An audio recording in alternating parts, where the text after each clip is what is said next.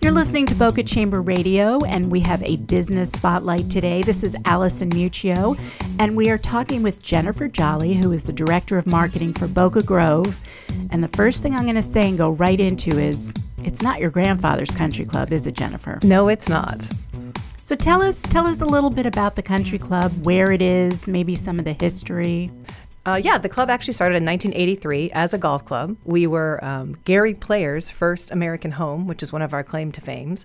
We also started what you guys know today as the Senior Classic, which there is one held here in Boca in February oh, sure. each year. Sure. Mm-hmm. That was originally called the Quadel, and we were the host um, course for it 1983 and 1984. So we have a lot of history in golf. We are a very um, strong golf club. We pride ourselves in the fact that we don't have tee times. So we try to keep our membership small and our golf members proportionate so that when you show up, whether it's nine o'clock in the morning, one o'clock in the afternoon, you just step on the golf course and you can golf. So, from that perspective, we are a little bit like your grandfather's golf club. What makes us different is that instead of the old Mr. and Mrs. and the very proper greetings and the formal clothing, we're we're much more relaxed than we used to be. We call our members by their first names. We treat them as friends and family, uh, cognizant still of the they're not your friends, you're friendly, right? Because at the end of the day, they're my owners. Right. So how a country club works, it's Equity Country Club. We have 440 homes, so those members are my bosses. Mm-hmm. So you have that kind of thing you still have to work with, but it is much more casual they look at things more than just golf. They're interested in food and dining, of course. They're interested in the social aspect of the club, building camaraderie, creating friendships that last a lifetime. The other interesting thing about Boca Grove is our members, most of them have been there over 20 years, which is sort of interesting. Yes. We've had um, families come through where you'll have the grandparents and the parents and now you're now the grandchildren are having their kids and they're now moving to Boca Grove. So it is kind of a tight knit little we call it a, a boutique club, and I think that's part of why we do that. We have 125 children, which is very unusual, mm-hmm. especially mm-hmm. given we are we are small. But part of that is, you know, you all know being here in Boca, we're in the best possible school district, and right. we have a fantastic location. We're right there at um, Glades Road, where the Turnpike that um, is, that is a great location, and it's easy to find because their signage is wonderful. And and you you have to tell us about Boca Grove as far as the history of why it's called Boca Grove. That's very important, and thank you for that because I just started as the marketing director in June, and one of the things that blew me away was this huge history we have in oranges. We were an orange grove, mm-hmm. and the members. It's kind of comical and they may not like that I'm telling you the story, but it's the truth. So the truth is the truth.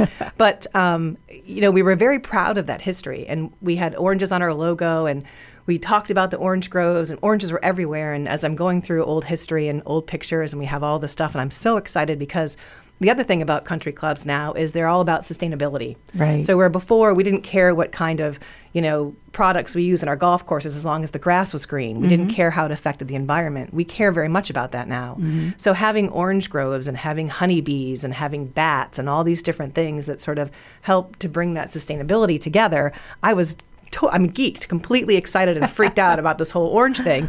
And then I had this group of members like, oh no, you can't talk about the orange groves. We had canker in the 90s. Well, I don't care. That was the 90s. I don't think anybody cares. no, but that's funny. I know. That's funny. So they went through this this thing where they, um, we have, you know, upgraded our, our logo and all of those things to make them fresh and exciting and young. And I actually do really like our logo.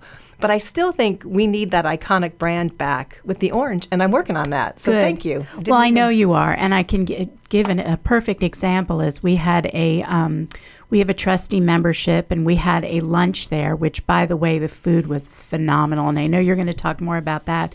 But as we were leaving and this is not something that usually happens um, everybody got a gift and the gift was very reminiscent of your name and it was awesome and i want you to tell everybody what the gift was. Sure sure. So uh, we decided to give you all um, orange blossom infused honey there's a couple of things about that. Um, we don't have the bees yet, but we are getting bees. Oh, great. Beginning in January. That and is we will start, wonderful. Yeah, we're really excited. So our, our golf course superintendent is helping me build the area and then we've got this woman um, her name is sierra she owns sierra bees and she'll be the actual keeper oh, that'll manage it and the intent will be that we'll start planting more orange trees back at boca grove we have this berm that we just fixed up, and because the bees they get their flavor from fi- like a 50 mile radius. Right. So we want to have as many orange trees around them so they can get to those blossoms. But in the meantime, since we don't have our own honey and we don't have the orange trees yet, our chef did that. So Chef Dominic um, is an award-winning chef that we do have